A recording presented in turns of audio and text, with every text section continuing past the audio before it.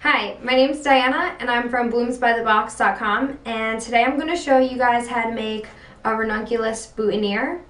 Um, we're kind of fixating on a, the garden theme that's going to be so popular this year so if you want to learn how to make this centerpiece you can see it in another video. Um, but to go with that, you know, you're going to need to do the boutonnieres and bouquets. So um, here's just a great simple boutonniere uh, that kind of looks kind of garden edgy.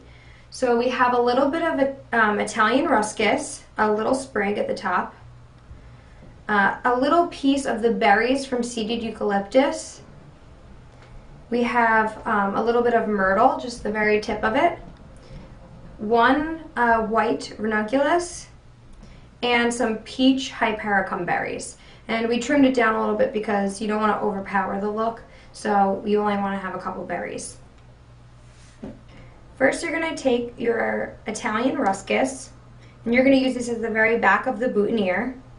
And then you're going to add the piece of myrtle in front of it as a layer of greenery, just to add some more interest.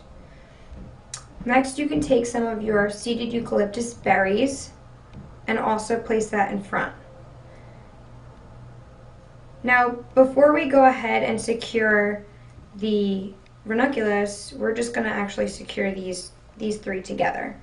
So I just uh, ripped a little piece of the floral tape and I'm just going to wrap it around these pieces.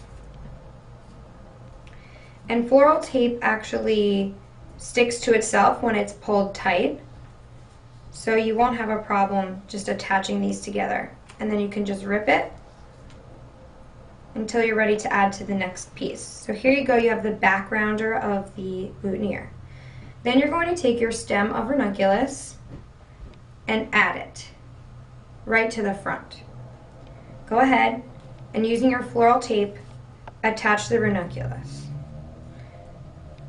It's good to attach each thing as you go, and that way you're not struggling to hold pieces together the whole time because sometimes that can get pretty tough. And this way it'll also be much tighter when you're finished with it. So here we go. These are all attached. Now you're probably thinking that it needs a little something more. So although we have all of our greenery, we're going to go ahead and attach just a little bit of peach hypericum berries. So I'm just going to take a little piece of floral foam, I'm sorry, floral tape, I'm going to put it right at the base of the ranunculus and I'm going to wrap it. Once again, pulling tight.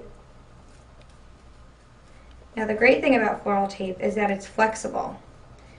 So once you're done doing all the wrapping, you can kind of rearrange things in the way you'd like them to look and it will still stick. So here I'm just kind of spreading out all these parts to make it balanced. Okay? The next step is to take your scissors and cut the bottom, right straight across.